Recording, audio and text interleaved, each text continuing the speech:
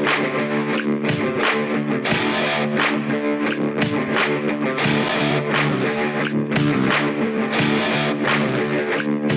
this was about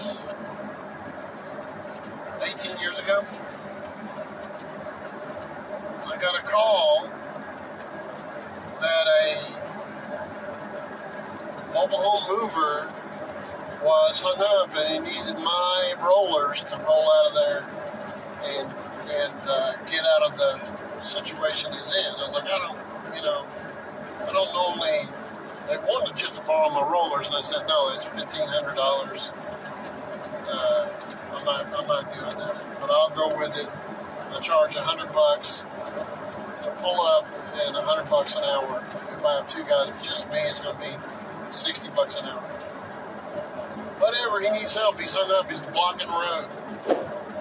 So this place is uh, way out in a place called Japton, which you don't think it's much of a town. It's past Japton.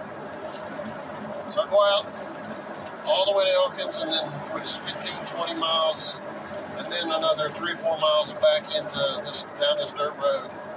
And I pull up around the corner, like a right-hand turn, and then there's a hard left. And in that hard left, I mean hard left, is a 70-foot single-wide mobile home, and it was hung up on the bank on the far side of that circle, switchback, you know, going around a ravine. It was hung up on the other side, and the the tail of it was digging into the ground. It was so hung up. Now, the wheels on the ravine side were hanging off of the ravine, and he had. So I walk up. I couldn't see all that. I walk up, and I was looking down one side. The trailer was wrinkling all up, and it was. You could hear the truck revving and trying to move. It wasn't moving. Still trying to move. So I go around the other side, and I can see the truck turned. Trailer almost wrinkled up on that side, but underneath he had three guys in the ravine trying to shove stuff underneath the wheels so that the trailer could roll over stuff inside this ravine. And it was above their head, almost seven foot high. And they couldn't stack stuff up, it kept falling. It's so steep in that ravine, they couldn't. He says, Hey, he's yelling at me, driver, which I knew him. He's like, Hey, they need help down in there. I said, They ain't getting it from me.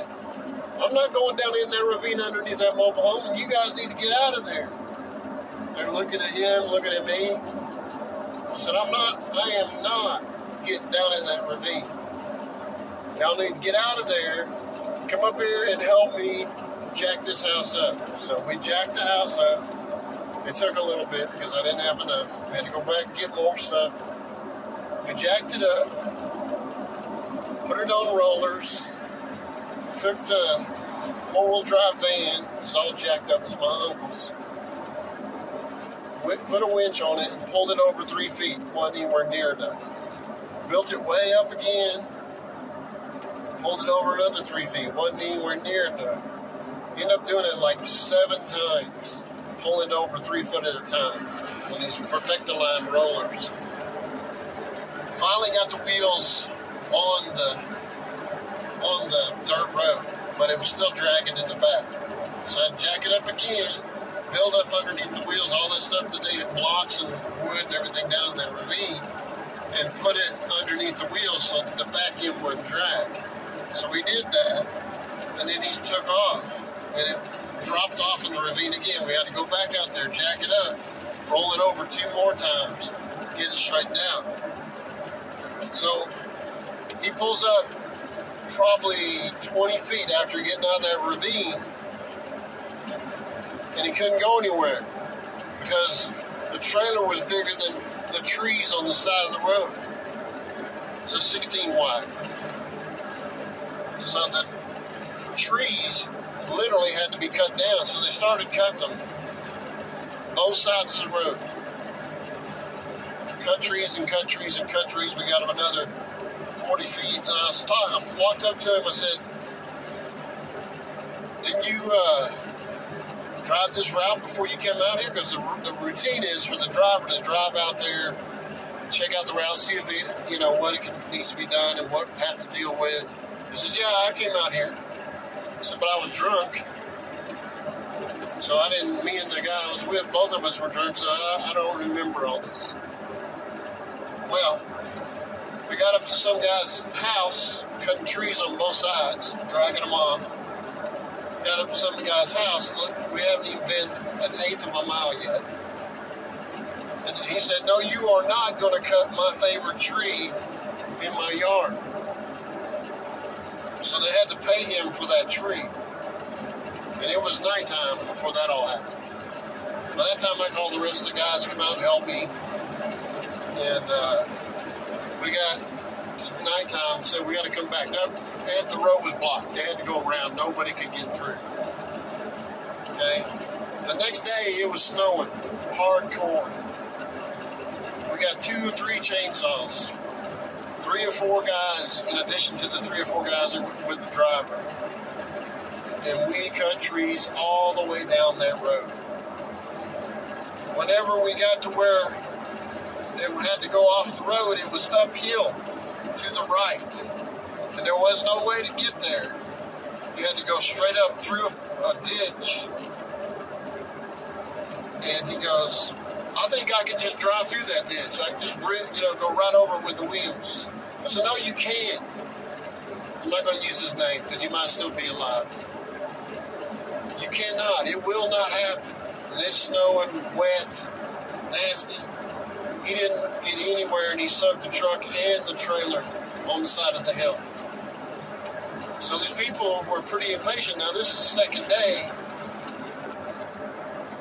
and we're running out of daylight again. So they had a friend, a long-time family friend, that had a 1940s two-ton truck with a big winch. I mean, it's a big one. Old truck. I mean, like round fenders, round hood. And come up there and he says, "Who's in charge here?" And I, and I almost said his name. Uh, he pointed to me. Didn't matter that a bunch of other people that had their own business and everything that were there now. We're almost nine people trying to build up this mobile home. I said, jack it here, not there, that kind of stuff. They were jacking the wrong place. Build up underneath these wheels. He goes, pointed to me. So he goes, he goes, where do you want to put this mobile home? And it was way up on top of the side of this field. Up a steep hill. I mean steep. He said, come with me. So I walk up a steep hill, slogging with muddy shoes and wet from being in the ditch. He says, I want, want you to tell me when I'm getting too far up. To set my truck right here. I'm to put blocks behind it. I'm to pull the winch up. I'm to pull the truck, stand it on its end, but I can't hardly tell when I'm to flip over. So I need you to stand up here and tell me when I can get up to about this point where you think it might start rolling over. Pull over backwards. I said, well, all right. So they got hooked on, hooked onto the, the big old winch, that big old PTO drive winch. He'd stand that truck that truck up, and then he would let off on it, and it just the weight of the truck being up in the air, pull the, the this mobile home mover truck and the trailer probably seven, eight feet, ten feet at a time. We did that over and over, and we got into dark. Got the mobile home up on the side of the hill. We then rolled two tires off. He goes, what are we got to do now? He goes, we want it this way. The owners. So now we're. He says, we got to do this tomorrow, man. I can't. I can't do this in the dark anymore. I can't. It's too dangerous. So we come back the next day and set the house up on the hill, hillside. And they said, we'll set, we'll, we'll level up the house. You guys don't got to do that. Well, the house is leaning like this on the side of a hill. I said, uh, ma'am, you do know that this is going to be a real dangerous job. Yeah, we can do this. It's okay. No, dad to call us back. Snow on the ground, jack the thing up. Lots and lots and lots of blocks. Way back in there. Effectively, it was three and a half days to get that house moved and set up. That is what happens when you have people that are not very professional that are supposed to be professional. And I got lots of stories. I'll tell you some more another time.